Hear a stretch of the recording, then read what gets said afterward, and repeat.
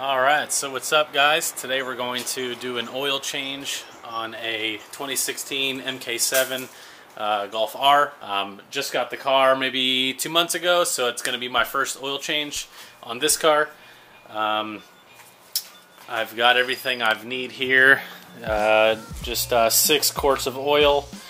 Um, I think the car takes 5.9, but it's good to have a little bit left over.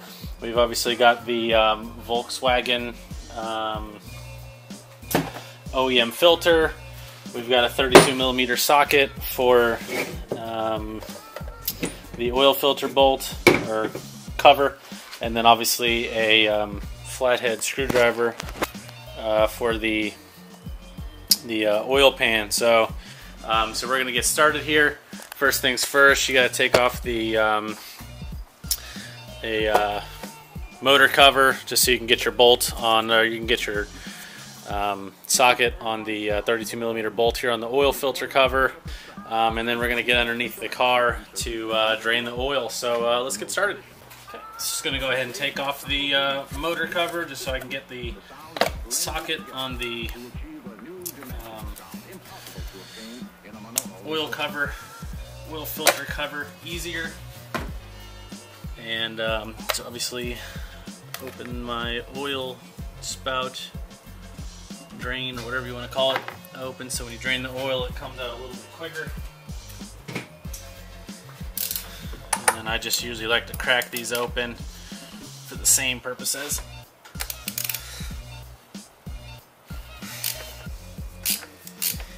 whoever put that on last time, you put that way too tight. I'm gonna crack that open. Now we're gonna get underneath the car and drain the oil. More than likely, you guys won't be able to see any of this because my camera is pretty crappy. And I obviously have no lights as I am a huge noob. And this is the first plastic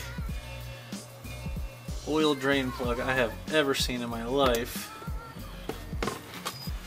But um, we're to let this drain for about 15-20 minutes let it do its thing. Okay, so I'm gonna go ahead and undo the oil filter now.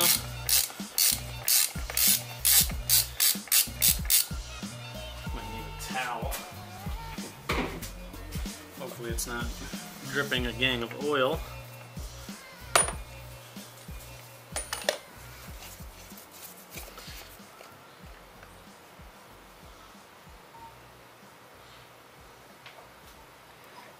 Looks like it is. So I'm gonna let that let that sit there for a few minutes. Okay.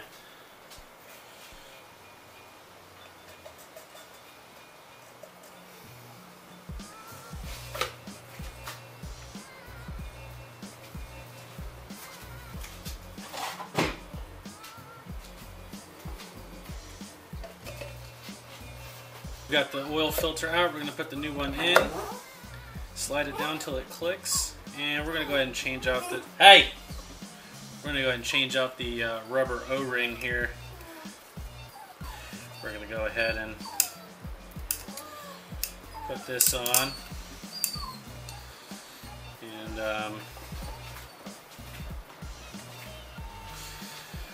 clean up this case a little bit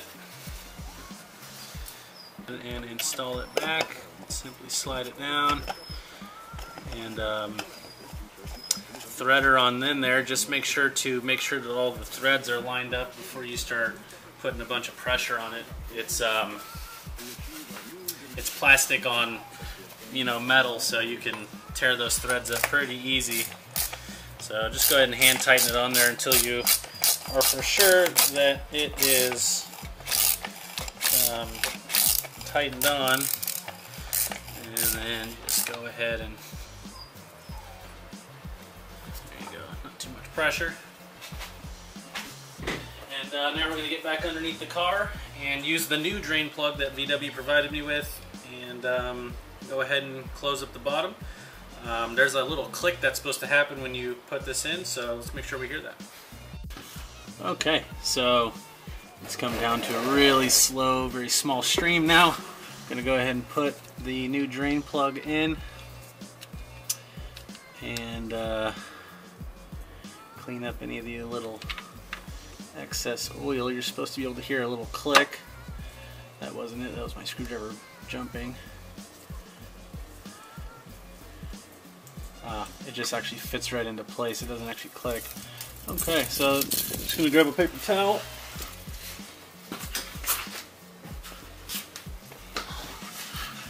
Wipe up a little extra oil down here. That's the first plastic drain plug I have ever used. So yeah, it's just got a little notch and it just notches right into place. So it kind of takes the guessing game out to know if you have torqued down your drain bolt tight enough. So anyway, let's go back up top, put some oil in the car. There's something definitely satisfying about first changing your oil and then second of all actually pouring oil is very satisfying. I don't know why. Just kind of like putting in that new new and I have definitely noticed over the years on turbo cars that after a fresh oil change, I think it definitely does uh, pick up a few horsepower. I don't know if it picks up any horsepower, if it just feels like it, but maybe it's a placebo effect. You just always feel like your car is just kind of running how it should right after a fresh oil change. So that's okay. So we just put the oil back in the motor. I'm gonna close everything up here, drop it off the ramps or the jacks, and uh, check to make sure that the oil level is where it needs to be. Okay, so here's actually a quick tip that I'll show you guys that I do quite frequently. Um, whenever I'm done changing my oil and I need a place to put the dispose the old oil, um, instead of trying to, I mean, I always put them back in the filters and then or the jugs and then take it back to wherever I bought it from, you know, for them to dispose of it. Pep Boys, AutoZone, wherever it is. Um, a lot of people just do this, pour it in, you spill oil around, sometimes, you know, this overflows or whatever. I always put it inside of an old bucket and then put, obviously, the oil, um, the, uh,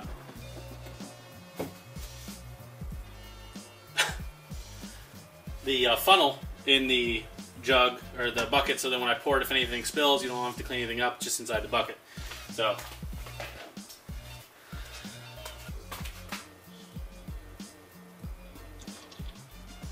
just an old trick of the trade that I've learned after a million oil changes.